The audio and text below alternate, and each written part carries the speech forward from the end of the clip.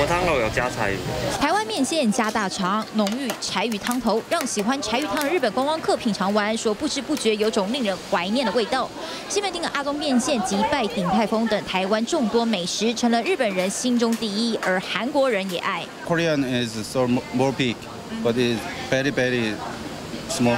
鸡汤熬煮的汤汁，加上国际品牌知名度，用日文点餐，来就股鼎泰丰小笼包紧追在后，排名第二。台湾芒果冰闻名，而在台北双连最早以古早味串冰闻名的冰赞芒果冰，靠着新鲜多汁的招牌芒果雪花冰，意外打败了较有名气的永康十五号。胡须章卤肉饭则被评选为台湾庶民小吃，票选为第四名，不容错过的台湾美食。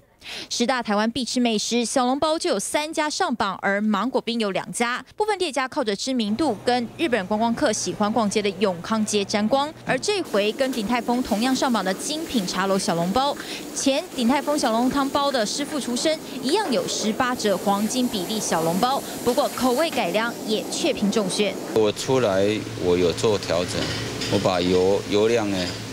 降低。由世界旅行行业前十强的日本知名旅行社对台湾美食进行票选，日本旅客也针对暑假最想出国玩的地方，台湾排名第三。台湾美食沾光也意外赚进观光财。记者张哲如周瑜的台北采访报道。